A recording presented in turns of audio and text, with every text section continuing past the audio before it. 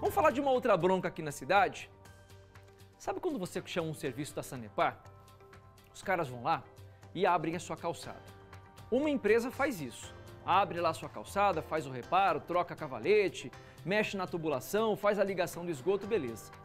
E fica lá depois dessa plaquinha a terra e o buraco.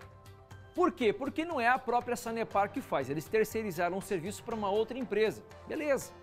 Desde que essa empresa entregue um serviço de qualidade dentro do prazo estabelecido. O que acontece depois foi uma bandeira que o Balanço Geral e o Cidade Alerta levantaram, aqui da RIC TV, é de que demorava demais, demais, e a qualidade do serviço não era a contento. Agora, qual que é a novidade? Tem um comitê municipal que já existia e agora com mudanças na lei vai poder fiscalizar mais de perto e até multar a Sanepar caso o serviço não seja feito do jeito que tem que ser feito. Vamos ver aí, Chatela. No meio da rua, atrapalhando o trânsito. Em cima da calçada, dificultando a passagem dos pedestres. E até na porta de casa. Os buracos deixados por obras da Sanepar foram motivo de dor de cabeça para muitos londrinenses. Quando está sol, é poeira. Quando chove, é lama. Pessoas que podem ter problema de visão né? E cair nesse buraco, cair ali, é difícil, né? Desde o fim do ano passado, a RIC TV tem denunciado a situação que se espalha por todos os cantos da cidade. Depois que o Balanço Geral e o Cidade Alerta começaram a expor o problema, a prefeitura passou a receber dezenas de denúncias de crateras abertas e largadas para trás. Obra das empresas terceirizadas e até quarteirizadas pela Sanepar mais de 120 buracos foram noticiados de uma vez só ao poder público, que se viu obrigado a tomar uma atitude. O Comitê Municipal de Acompanhamento da Prestação de Serviços de Abastecimento de Água e Esgoto já existe há bastante tempo, mas até então ele só podia fazer isso mesmo, acompanhar o serviço e notificar a Sanepar. A partir de agora, com a publicação dos novos decretos, o comitê vai ter mais poder e autonomia.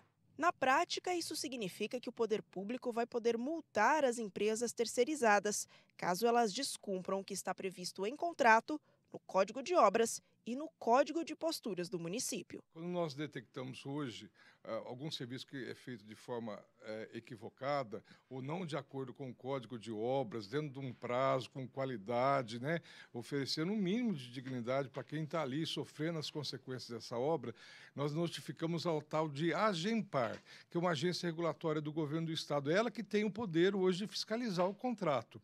É, nesse sentido, a Agempar é, fica em Curitiba, não tem ninguém de Londrina, eles não conhecem a nossa realidade. Esse decreto vai dar forças para a Secretaria de Obras e também a Secretaria de Fazenda poderem fazer e multar e penalizar as, as, empresas terceirizadas quando elas ferirem o Código de Obras e o Código de Posturas. A nova regra deve começar a valer nos próximos dias, assim que for sancionada pelo prefeito Marcelo Bellinati. Esse decreto vem no sentido de fazer frente, dar uma resposta para a população, para o Ministério Público, né, para o cidadão londrinense que não aceita mais serviços sendo prestados sem um mínimo de respeito ao cidadão.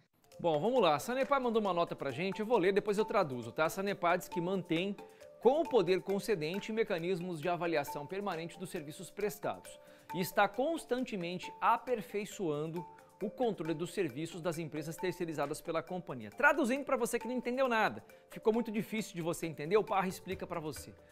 Eles disseram o seguinte, que mantém uma boa relação com o município e com, é, com o município de Londrina, com a, com a prefeitura de Londrina, e que cobra da própria empresa terceirizada um bom serviço. Prefeitura e Sanepar sempre se deram bem aqui em Londrina. E tem que continuar, porque uma depende da outra. Agora, não dá para o município passar pano em serviço mal feito. Então, se existe o comitê e o comitê obriga e permite ao município multar a Sanepar caso o serviço não seja feito a contento, tem que ser feito isso. Simples assim. Ah, mas é Sanepar, é órgão público também, tem a relação com o Estado. Esquece isso. Tem que ser serviço bom. E se a Sanepar não consegue colocar uma empresa que preste o serviço da forma adequada, troca. Quando ela coloca outra, troca de pessoal, enfim, resolvam. Se tem prazo para cumprir, tem que ser feito do jeito certo. Caso contrário, a gente vai encher o saco Sim, senhor, porque aqui a gente está do lado do povo sempre, o tempo todo, viu?